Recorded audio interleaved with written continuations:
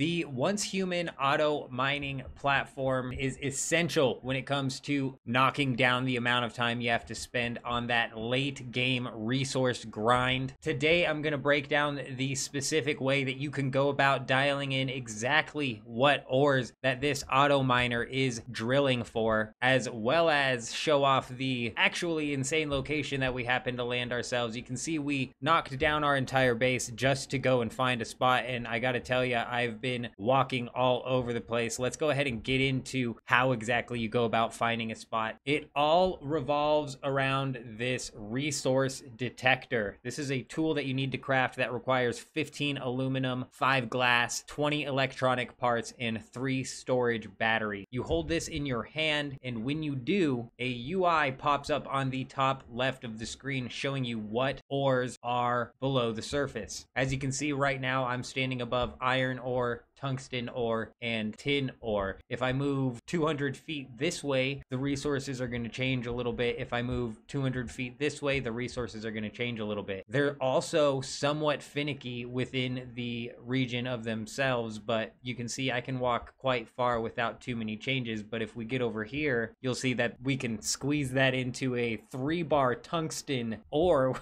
which got, which definitely piqued my ears, especially because I have spent all day walking around. Not not only walking around, though, speaking of which, a couple of tips I have for uh, covering a large area when resource detecting is to get up on a hill and glide around with the resource detector out. It will still pick up and change as you fly over the different areas. Also, if you happen to be a part of a team, you may possibly be able to hold on to this resource detector while in the passenger seat and cover a lot of ground that way. But as you can see right here, we've gotten a uh, three bar tungsten. And when we look into the ground, we have tin ore, tungsten, salt, copper, and aluminum. All major things that you're going to want to grind for. Tungsten and salt actually being two massive ones. I'm walking so slow actually because my entire base is packed onto my uh, person here. I broke it down literally to come set this up over here after we found the uh, the fine finally found the three bar tungsten. I'm telling you, it's it's been rare that I've even found many three bar spots of any ore. So let me know down in the comments you happen to find any. But let's go ahead and without further ado, show off where we are on the map so you may be able to go snag this spot for yourself. I'm not sure if the uh, ore locations work server to server, so, but we are right here on this hilltop next to this lake, next to the Blackfell campsite. I want to point out that there's tungsten all up in these mountains, all up over here. There's sulfur all up, like down up in these hills and whatnot. If I was was looking for iron ore, I would stay down in these mountainous regions. But honestly, since I was specifically trying to dial in tungsten, I spent a lot of time walking up and down the desert today. So I'm not entirely sure. Maybe you do find tungsten sometimes over in the forest, but I'm not sure. If I was looking for tungsten, I'd stay over here, sulfur ore over here. But the level three spot that I have found is right up here next to this dam. Let me know down in the comments if you guys have found any juicy spots and what ores you have gathering currently. That's all I wanted to cover in this video. I hope you guys have an amazing day. I'm out.